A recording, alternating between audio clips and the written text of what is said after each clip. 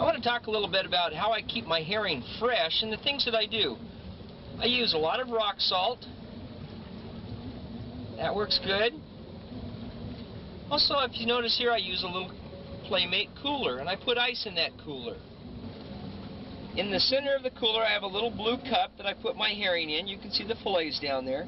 And surrounded by that blue cup, I put ice. And on the ice, I put just a little bit